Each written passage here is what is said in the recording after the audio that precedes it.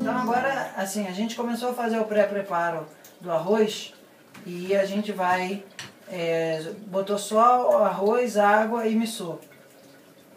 Porque o óleo vai entrar nessa forma de massala. Quando a gente, isso daqui é azeite, tá? Quando a gente cozinha no nosso culinário, a gente só acrescenta o azeite no final, no geral. Só que no Ayurveda a gente tem uma mágica, ó. Isso daqui é o que faz o Ayurveda ser tão poderoso e tão gostoso. A gente pega o tempero e dá uma acordada nele. Isso daqui não é exatamente fritar, não é um acarajé isso daqui. A gente vai fazer isso daqui até o cheiro começar a ficar fantástico. Ó, o cheiro tá bonzinho.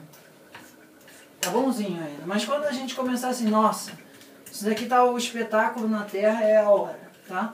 Então aqui o arroz, se você não botar nenhuma forma de óleo, tem um risco grande dele grudar no fundo, tá? Então a gente vai usar esse óleo para fazer com que o arroz pegue o gosto que a gente quer, tá? Qual é a grande diferença de você botar o tempero no óleo e na água? O tempero fica muito mais forte. Qual é o problema de você botar o tempero na, no óleo? Ele pode estourar, ele pode queimar muito mais rápido. Então o que, que a gente faz? A gente cozinha rapidinho o tempero no óleo para jogar ele no meio líquido, ok? Então agora a gente meio que já começa a ter um cheirinho mais forte, tá? Então aqui o arroz, no Ayurveda a gente tem as coisas tudo mais papinha mesmo, tá? Porque a gente entende que uma comida precisa ser no início mais úmida. Então o arroz com feijão é mais úmido mesmo, é quase uma sopinha na Índia, tá? Tipo um risoto, né? Tipo um risoto, uma coisa assim bem suave mesmo.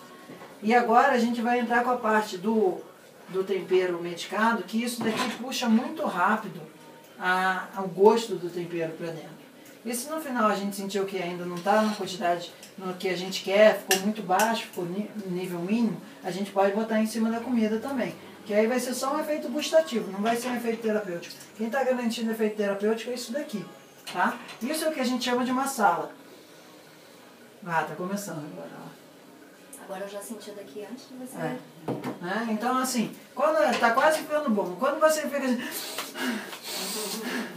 significa que tá na hora de botar. Quando você sabe que não tá bom, que já passou do ponto, é você esqueceu de parar naquele momento. Mas quando assim, o negócio já tá com cheiro meio de pipoca e assim, super saboroso, não sei o que, pronto. Aí você vai e coloca isso na comida. Isso daqui, essa reação é com a água, tá? O fogo tá já mais baixo. Baixo. Aqui a gente terminou essa panela por enquanto. Tem que tomar cuidado nessa hora, tá? Não pode fazer de qualquer jeito não. Põe longe de você. Só pra pegar o restinho, tá? Você vê que o óleo, quando reage com a água, reage de uma maneira bem forte mesmo. Então toma cuidado, ok? Aí beleza. Deu uma encaminhada no arroz, isso daqui tá secando. Fica ligado. Nessa hora de fogo, assim, a grande dificuldade do fogo é que você tem que ir na velocidade dele. Mesmo que você ponha no fogo baixo, ele ainda é fogo. E se você demole, ele ainda queima a comida, tá? Então, chega aqui mais pertinho pra gente ver. Né? Aqui, você tem mais ou menos meio quilo de arroz. A gente usou uma quantidade de massala, depois a gente vai explicar como é que é a função das massalas, cada uma delas e tal. Mas isso daqui já dá um gosto muito especial para a comida, ok? E a chance disso queimar agora a panela porque grudou diminuiu bastante porque o óleo forma uma camada protetora. Se você não tiver tanta segurança assim, você faz essa tempero antes e põe o arroz em cima desse tempero, que nem a gente faz normalmente, depois acrescenta água. A gente dora o arroz assim, né? Dá para seguir essa mesma metodologia, tá? Então agora o arroz já está bem adiantado aí. Vou botar um pouco mais de água só para garantir aqui o processo. Porque no Ayurveda a gente não tem medo das coisas virarem papinha não, tá? Se a gente comer as coisas no final meio papinha, dentro da perspectiva ayurvédica mais comum, isso está valendo.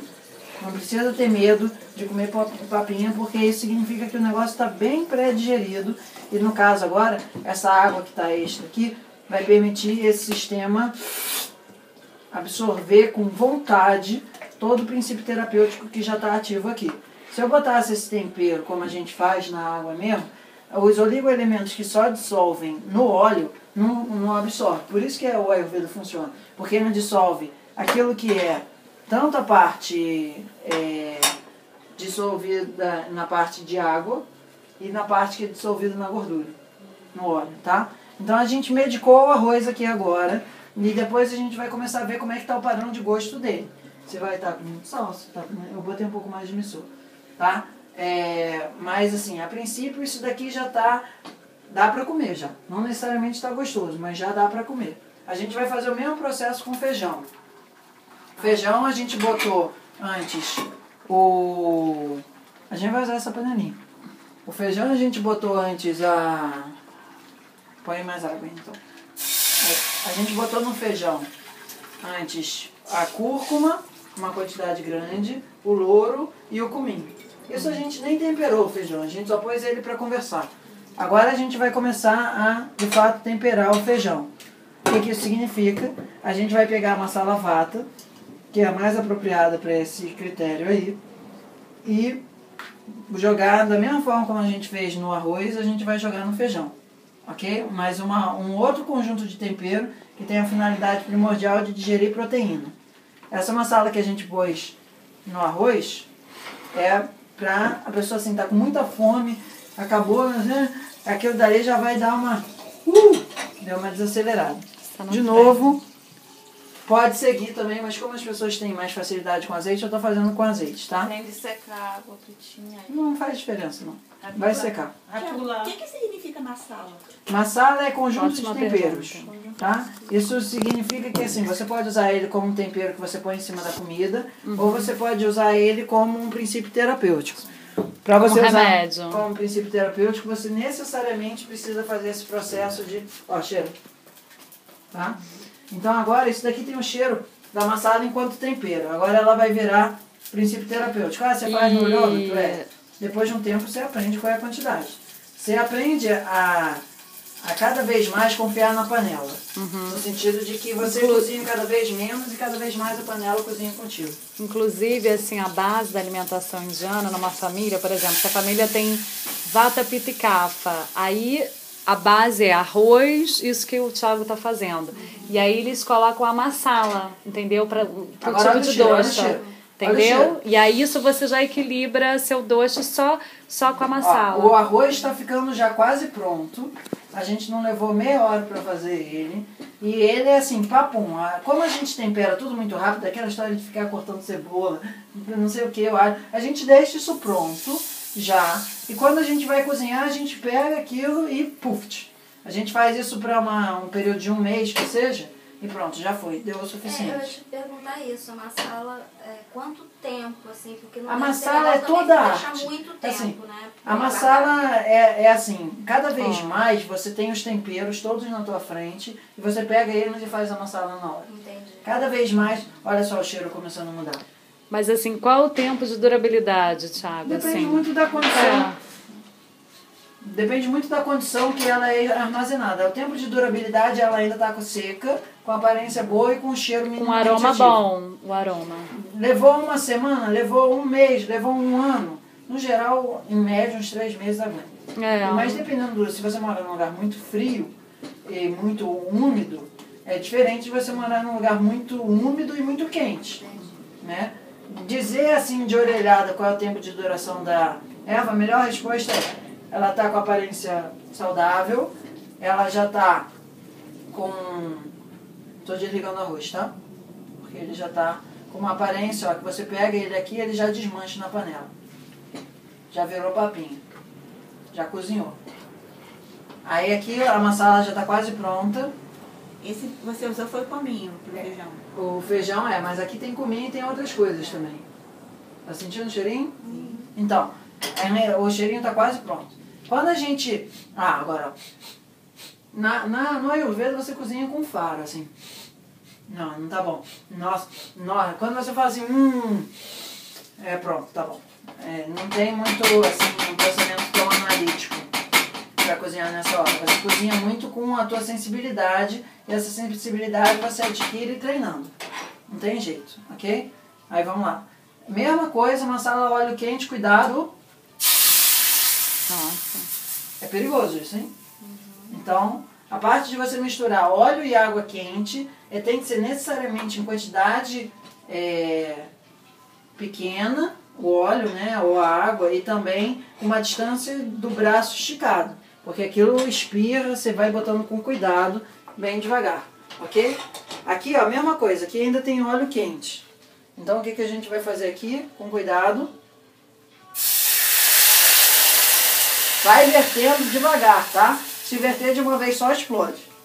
Tem um monte de vídeo na internet de óleo explodindo com água. Não, não é nenhum é, segredo isso, que isso não dá certo. Você tem que fazer isso com um certo grau de habilidade. Se você não tem confiança para fazer isso, não faz. Melhor do que se machucar. Ok? Então, beleza. Resolvemos o tempero da nossa comida em dois minutos, tá? Aí, beleza. Olha só. Aqui já está bem adiantado. E aqui também. Agora, eu vou botar um pouco de guia aqui, que é o que dá, assim, o toque de que você vai falar, nossa, essa comida tá boa demais, assim, não tô aguentando. Eu vou responder, é o guia. Ah, mas eu fiz em casa, não ficou tão bom, mas eu fiz igualzinho como você fez, não botou o ghee. Entendeu? Então, assim, o ghee é uma forma de manteiga clarificada, mas mais do que isso, ele é uma capacidade enorme de potencializar o efeito terapêutico de tudo que está ali dentro, tá? Ele tem essa aparência assim dourada. Tem um vídeo lá no YouTube que é como fazer tá? esse ghee inclusive foi o que a gente filmou. Então são vários e várias etapas para você fazer com que o processo de desintoxicação do leite deixe o, o resultado estritamente saudável, que é uma grande potencialização terapêutica daquilo, sem que o teu corpo fique com material que ele não consegue digerir e intoxica ele, tá? Então esse, de alguma forma, como eu estou fazendo assim para um, um público que não necessariamente tem ghee em casa, eu estou botando ele no final como opcional. Mas o ideal seria fazer o arroz com ghee e o feijão com azeite, por uma Uhum. questão da propriedade dos óleos e tal, tá? Isso daqui vai deixar esse arroz com feijão do tipo, tem mais coisa? Eu quero só aquele arroz com feijão. Não quero mais nada na vida. Porque a gente no Ayurveda tem que deixar as, as comidas muito saudáveis, muito saudáveis e assim, extremamente apetitosas. A digestão pra gente começa com água na boca. Se você vai pra mesa e não tá com água na boca, a comida pode ser o mais o que você quiser. Mas você não tem capacidade metabólica adequada, porque você não consegue umedecer o suficiente o alimento. Tá? Por isso que a gente vai tomar o lace antes. Porque independente de você já tá com água na boca ou não, eu vou te deixar com água na boca com lace. Eu vou garantir isso, isso daí vai estar bem nítido. Ah, mas o guia é manteiga, quem tem colesterol alto, não sei o que e tal. Olha, como regra geral, uma pessoa pode comer uma colher de chá é, de ghee, mesmo que tenha um colesterol alto. Ah, mas eu tenho os dois colesteróis altos, o HDL, o LDL, não sei o que. Tá bom. Então, nesse sentido, a gente faz um programa de desintoxicação e você volta a comer ghee. Ah, mas é proibido. Olha, não é tão bom não. Porque é um pouco controverso. Tem gente que pode, tem gente que diz que não pode. Então, assim, não vou meter a minha colher nessa história. Não vou ficar assim. O ghee é uma coisa que todo mundo pode usar, inclusive quem tem a taxa de colesterol bom, tranquila. É, mas, no geral, dá para cozinhar isso para a família. Ah, mas fulano, não sei o que, tem diabetes, não sei o que e tal, não digere leite e tal. Experimenta isso daqui para ver se no final não tá bem saudável. Agora, o cheirinho. Chega mais. E ele fica com característica de risoto aí, aí de É. né, total, né? Em função do que. Então, o arroz ele já tá mais ou menos encaminhado, tá? E a gente fez assim, uma, meio quilo de arroz, dá para alimentar uma quantidade grande de gente com isso daqui, tá? Mesmo a galera comendo bem. Então, a gente vai comer, sei lá, metade dessa panela. Se comer mais também, ótimo. Se quiser levar quentinha para casa também, ótimo. Tá? Pode ficar à vontade. Aí o feijão ele leva mais tempo mesmo. Ah, tá usando mesmo uma colher, não sei o que, facilita a vida. Eu não vejo o menor problema de ir de uma panela para outra assim. Até porque no Ayurveda a gente tem uma mistura de arroz com feijão que cozinha os dois juntos. Tem um feijão bem pequenininho que se chama mung E É, tenho- esse qual que você tá fazendo? É, esse daqui é feijão azul. Feijão Azul. é orgânico Tá, também. isso é importante, viu, Tá? menina? Saber a marca Quanto feijão. mais você investir na qualidade do alimento que você comprou, melhor é o resultado da tua vida. Simples. Ah, mas não tem dinheiro para isso, tem dinheiro para conta de telefone. Paciência. É uma escolha de cada um. Tá? Quanto mais a gente dá prioridade ao nosso sistema, mais ele agradece com saúde, produtividade, bem-estar, tudo de bom ao mesmo tempo junto. Ok? Então o feijão vai ficar um tempo mais. Como é que de orelhada você vê o feijão? Você aperta ele na panela assim. Ele começou a dissolver, tá começando a virar o que a gente chama, assim, grosso modo, tá? Não é exatamente isso, de dal. O dal, ele é um processo de cozimento do feijão que você debulha ele um pouco para soltar a casca antes e você permite que ele cozinhe por inteiro, parte de dentro também. Deixa de molho O feijão. o feijão deixa de molho Quanto a noite tempo? anterior na água morna, tá? E depois joga a água fora. Feijão é um negócio tóxico. A, a capa dele não é uma coisa que é pra gente comer. Então a gente tem que tirar essa toxicidade. No Ayurveda a gente chama isso de digerir. A gente tem que digerir aquilo antes de eh, comer, porque senão a gente vai se intoxicar. Tá? Então no Ayurveda feijão é tóxico. E se você não processar ele bem, você se intoxica. O que a gente está fazendo com os temperos e com fogo, e com esse processo nessa ordem, é transformar um não alimento em alimento. No Ayurveda isso pode ser feijão, pode ser suco verde, pode ser leite, pode ser o que você quiser. A gente tem essa capacidade com um conjunto adequado de ervas e o momento certo de comer. Ah, mas eu quero comer o ano inteiro. Então se responsabiliza, tá bom? Então vamos lá, vamos voltar para o suco verde.